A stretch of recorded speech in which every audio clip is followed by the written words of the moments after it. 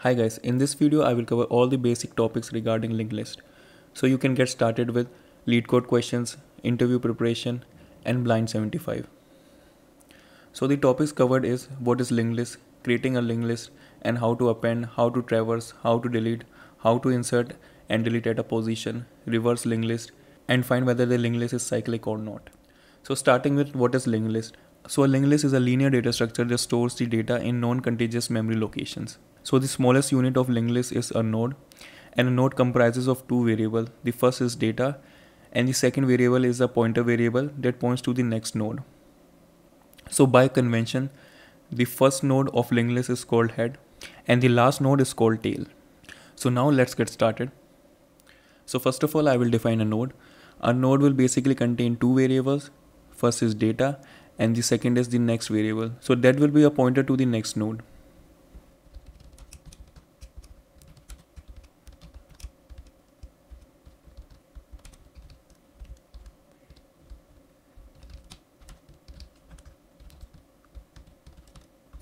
So I will initialize the next with none.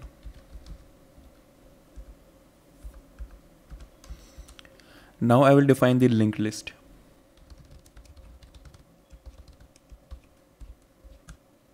So a linked list will always have a head. Now I will define it.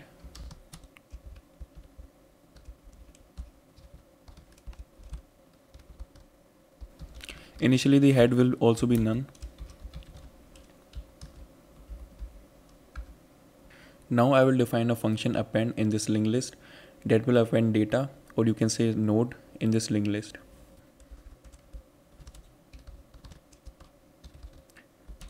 Here we require data. First of all, I will create a new node. I will pass in data. After that, I will check whether the head is present or not. So if the linked list is empty, the head will be none. If self dot head is none, so here I will make self.head equal to new node.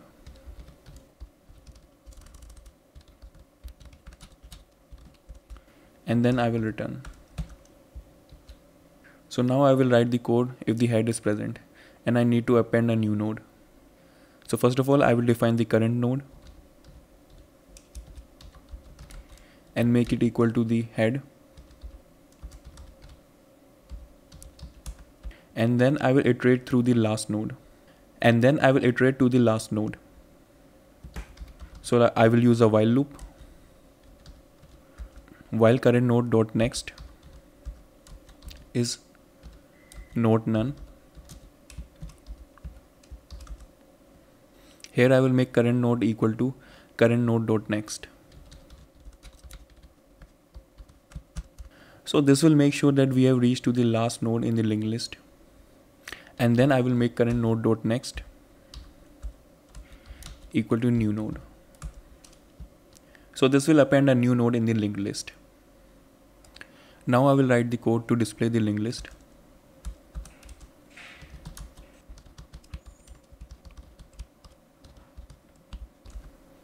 So first of all, I will check whether the head is none or not.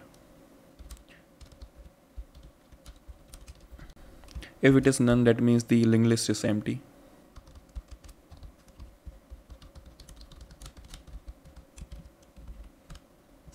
And then I will return. So if the linked list is not empty, I will define a current node using self.head and using while loop while current node is not none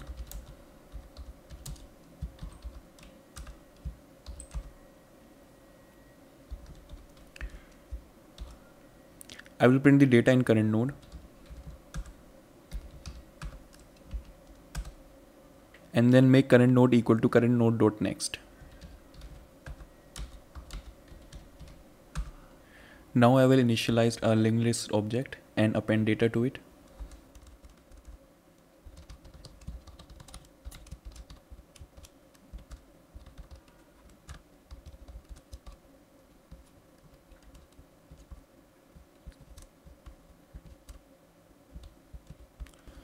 After that I will display the linked list.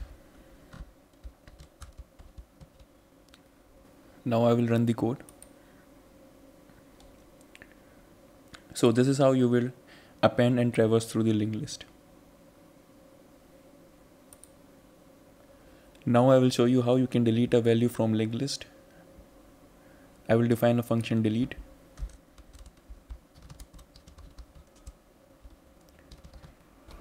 In, the, in this I will ask for data. First of all I will check whether the list is empty or not.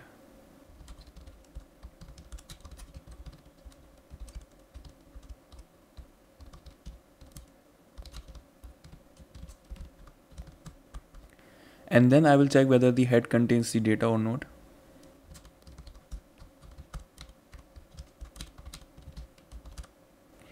So here I will make the next node the head.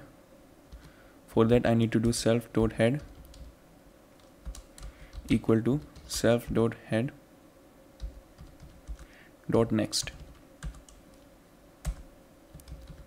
Then I will return. And in case the data is not present in head, then I will loop through the linked list first of all I will define a current node it is self dot head while current node. Dot next is not none.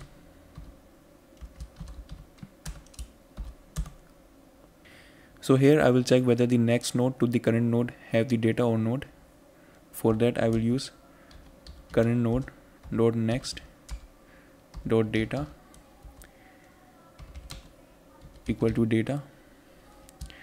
So in this case the next node will have the data so I need to skip this node for that I will do current node dot next equal to current node dot next dot next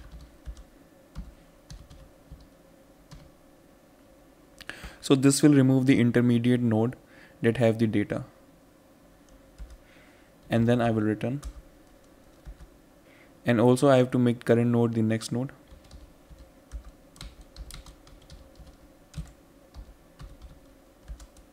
So this will delete the data from the linked list. I will try that now. So up to this point, the linked list will get printed. And after that, I will delete a value. so let me delete 8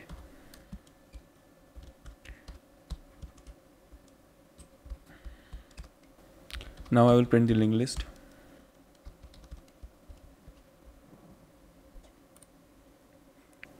so this was the result before deleting and here now 8 is deleted. Now I will show you how you can insert at a particular position. I will define a function for that.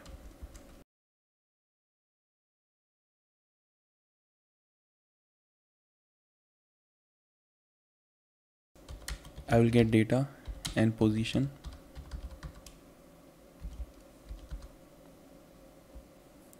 so first of all I will create a new node.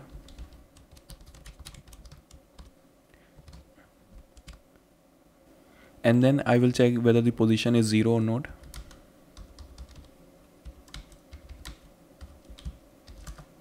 So if position is 0 I need to add at the position of head.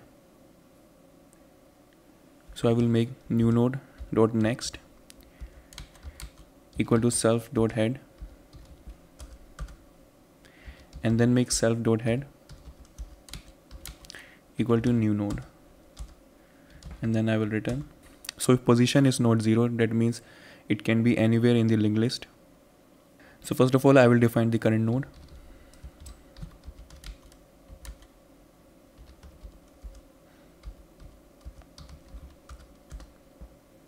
Then I will define a for loop.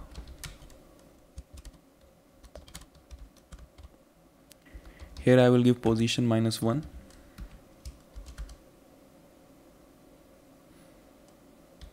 And if current node is none, that means the user has inputted a position that is out of index according to the linked list. So I will print index out of range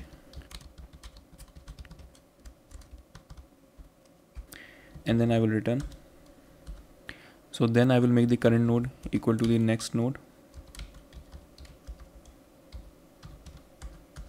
So at this point we have reached to the position where we want to append new data. So I will make new node dot next equal to current node dot next. So now our new node will be pointing to the current positions next node. And then I will make current node dot next equal to new node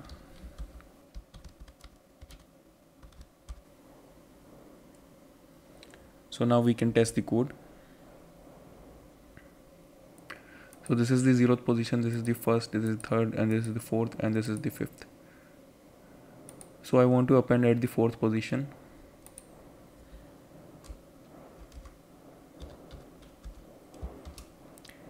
I will pass the data. It can be 7 and the position will be 4 now I will run the code so here you can see that 7 is added at the fourth position starting from 0 1 2 3 and 4 now I will show you how you can delete at a position.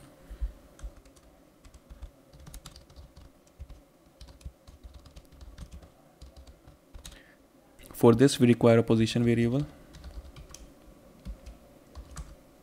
So first of all I will check whether the list is empty or not if self dot head is none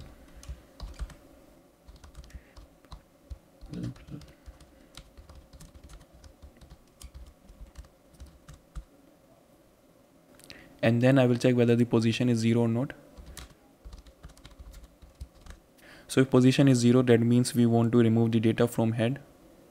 For that I will make self dot head equal to self dot head dot next. And then I will return.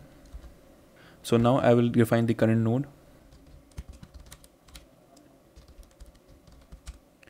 And then the previous node. For time being I will keep it as none.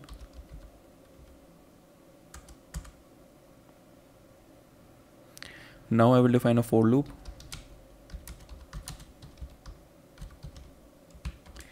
in this I will pass position.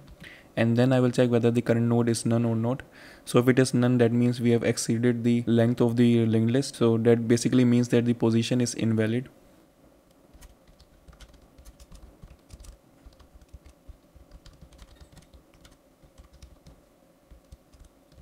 And then I will make previous equal to current node.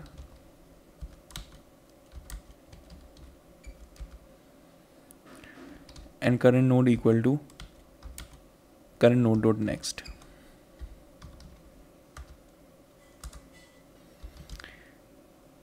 So then I will make previous dot next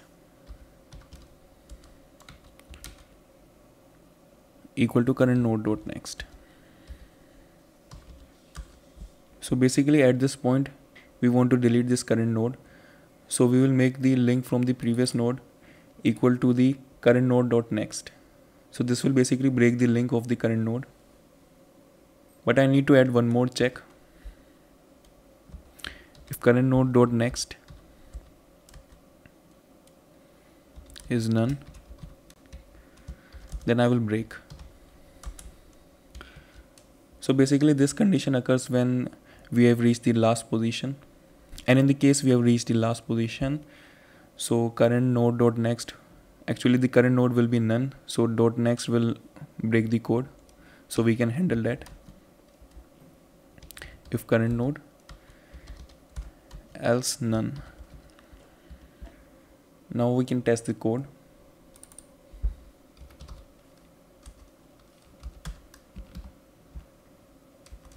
So let's delete at the fourth position only. So we have removed 10 that is present at the fourth position now I will show you how you can reverse a linked list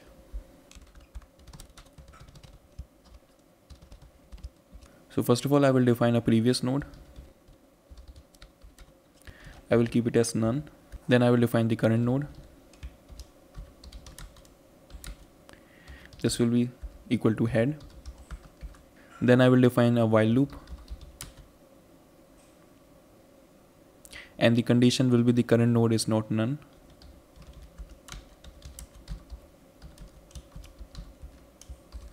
So in this, first of all, I will save the next node. So this will be current node dot next. Then the most important step is reversing the link. Now I will reverse the link. So current node dot next.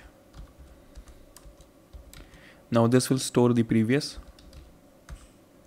So this will reverse the link. Now I will do the preparation for the next iteration. So now the previous will be equal to current node and current node will be equal to the next node. So after that I will make the head equal to previous. So this will reverse the linked list. We can test that now.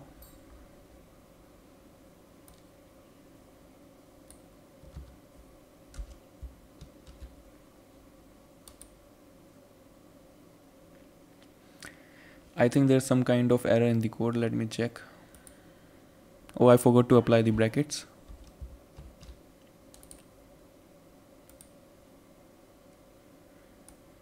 Here you can see now the linked list is reversed. So now I will show you how you can detect whether the linked list is cyclic or not. So before writing any code, I will show you what is a cyclic linked list. So a linked list in which a node points back to a previous node, that is a cyclic linked list. So whenever you will try to traverse through this linked list, you will end up in a infinite loop. So now the question arises is that how you can detect whether a linked list is cyclic or not. So for that we will define two pointer. One is a normal pointer, slow pointer, and one is a fast pointer. So the slow pointer will increment one at a time and the fast pointer will increment by skipping one node. So eventually while traversing through the linked list, if the linked list is cyclic, the two pointers will meet. So we can detect that. So this will help us in detecting whether the linked list is cyclic or not. Now moving back to the code.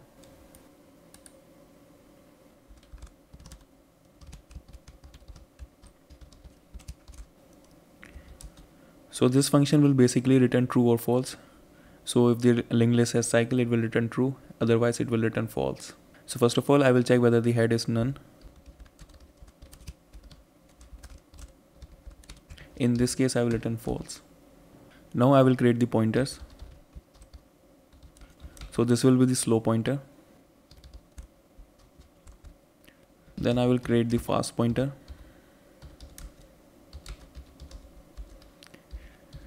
I will keep it as self.head.next. After that I will define the while loop. So the condition here will be fast pointer is not none and fast pointer dot next is also not none.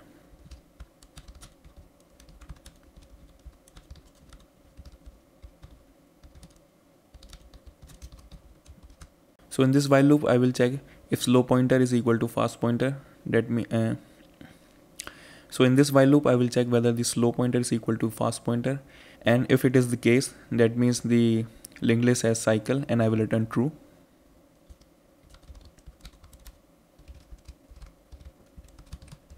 Otherwise I will increment the pointers.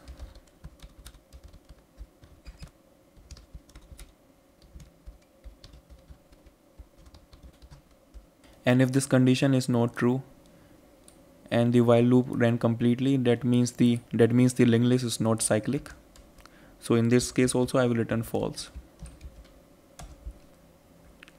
So now I will create a cyclic linked list. For simplicity, I will remove this node.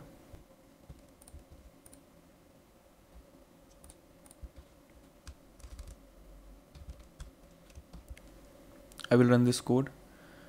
So now the linked list is not cyclic, so it should return false. I need to print that.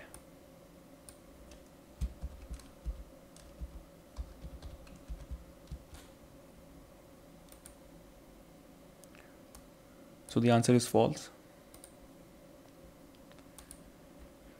Now I will make the linked list cyclic.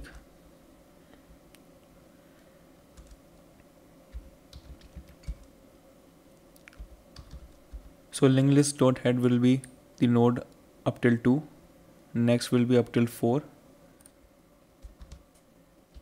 So this next will be 6 and this next will be 8. Also I want to point back at 4. So I will add one another next.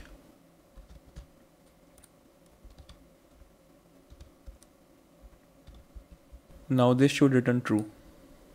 As 8 is now pointing back to 4 and you can see the answer is true. So this is it guys. I hope you like the video on linked list. Please like share and subscribe. And i will meet you in the next video